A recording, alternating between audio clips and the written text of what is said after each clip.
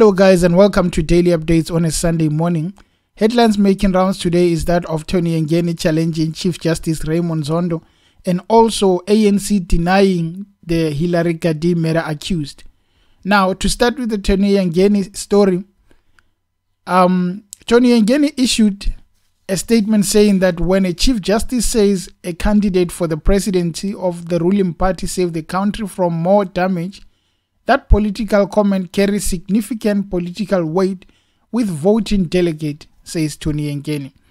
Now, Tony Yengeni is challenging the report of uh, Chief Justice Raymond Zondo. He was not a Chief Justice by that time, but just a deputy.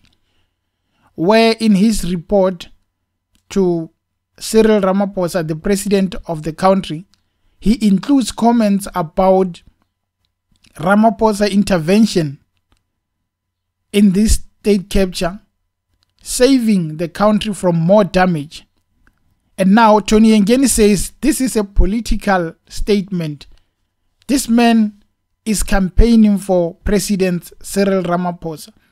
And there are many mixed views on this because some people are saying that well, a convicted criminal trying to justify uh, his conscience by coming and saying that Chief Justice Raymond Zondo is trying to become a politician when he knows that, well, for sure, his history is not good as well.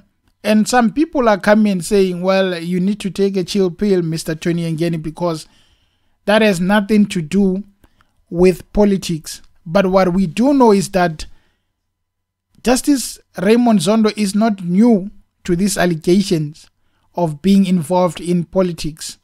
We saw what happened when he was interviewed by Julius Malema and his answers. So, what we can say about this is just let's keep a, a big eye on Mr. Raymond Zondo because, as a Chief Justice, he will need to be careful about his utterances, especially in the upcoming political fight between all these parties. So, whatever you say, Mr. Zondo, you must just be careful not to anger most of these people, uh, including Tony Yengeni. Now, we move from that to the one of ANC deciding to just boot out one of the accused in Hillary Gardee murder case. The statement says Mpumalanga withdraws Hillary Gardee murder accused Philemon Lukhele's membership. The ANC says that its probe shows that Lukhele obtained his membership ir- irregularly. The party says Lukhele is not a South African citizen and cannot hold a membership. Now, we might want to repeat the last one. The party says Lukhele is not a South African citizen and cannot hold membership. Oh my God. It never ends. It keeps raining in the ANC. So many years, this guy has been with them and even works in the uh, office of the chief whip in Mpumalanga legislature. And then today they come and say, no, this guy obtained this membership irregularly and he's not even South African. Then the question is, all of this time, where were you? Where was this investigation? Was there no one who could say, oh, I suspect this guy is not even part of us? But now that he's in trouble, he's in jail, they are going to come with stories of uh, he's actually not South African and we took his membership. This is the guy, a patriotic person in the ANC structure. You can see even he, he's glowing because he has that Vaseline, that uh, corruption Vaseline is glowing. That's how they pick them. Here's the guest house that he, he owned. All, all this time, they didn't even know this guy was not South African. Man, come on. ANC must stop making us fools. So there was this tweet by one of uh, the people on Twitter who said uh, this Lukhele guy was a member of ANC Youth League, SASCO, and SRC president in 2000, 2003 at Wits. Floyd too was a member of SASCO SASCO and ANC Youth League. Both of them were in the ESCO.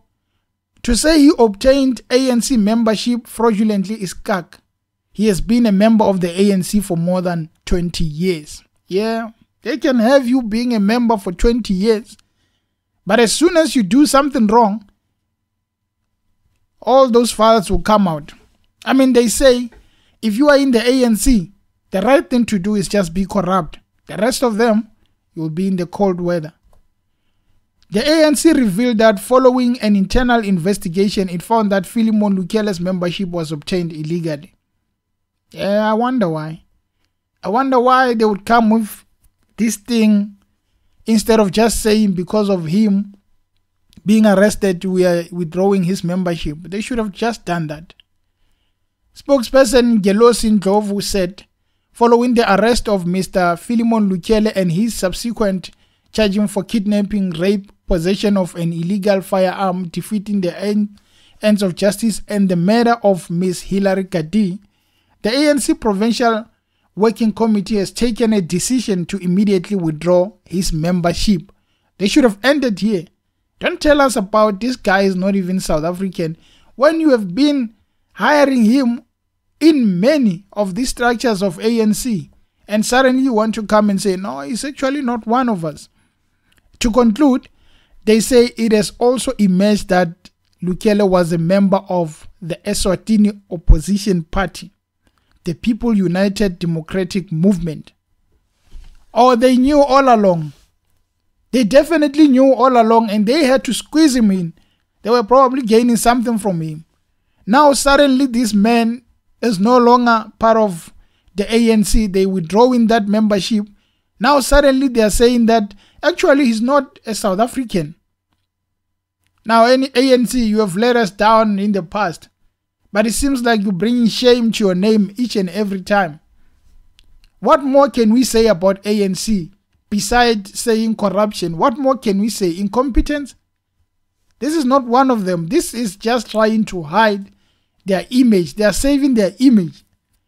Hopefully, this guy, if he, he was part of these allegations of kidnapping, possessions of firearms, and killing Hillary Gardee, he should rot in jail.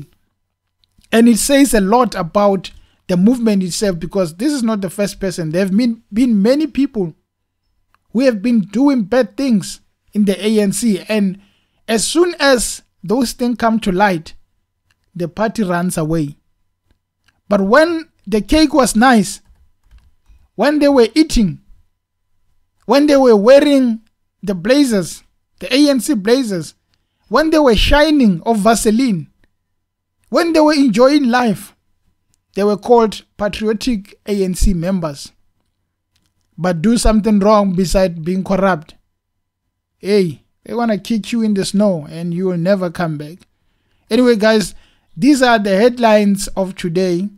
We're looking to see how people react as the day goes to our very own Justice Raymond Zondo and Tony Yengeni because now Tony Yengeni says, I'll deal with you because you seem like a politician and you are endangering the ANC campaign for uh, presidentship. As you can see, many people don't want uh, President Ramaphosa in the ANC. They don't want him to take the second term. And they will do anything to make sure that that man doesn't get it. I mean, as a South African, we know that whether he's the next president of he's taking another term or they choose another person, the fact remains ANC doesn't have a clue. They don't have a plan B. Their plan B died in 1999 when Nelson Mandela said, I can't do it anymore. That that was when their plan B died. For now, it's just a goose chase. Anyway, guys, and thank you for tuning in to the videos and please subscribe to the channel if you haven't. Until next time, cheers.